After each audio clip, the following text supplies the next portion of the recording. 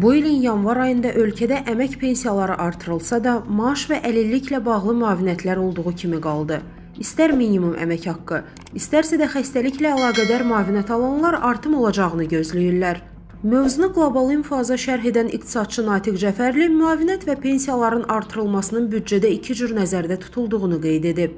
Natiq Cəfərli bu ilin ortaları müavinətlərin artırılmasının mümkün olduğunu deyib. May-iyun aylarında büdcəyə yenidən baxılması gözlənilir. Bu zaman minimum əmək haqqı və müavinətlərin artırılması məsələsinə də təkrar baxıla bilər.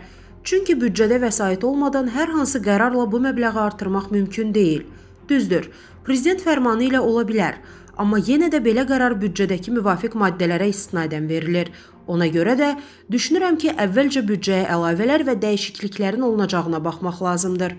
Natiq Cəfərli may-iyun aylarında maaş və müavinətlərin artırılma şansı və ya imkanının ola biləcəyini qeyd edib. Statın sonu. Mətni səsləndirdi Zahir Akif qızı. Əziz izləyicilər, xəbərlərdən məlumat almaq üçün kanalımıza abunə ola bilərsiniz.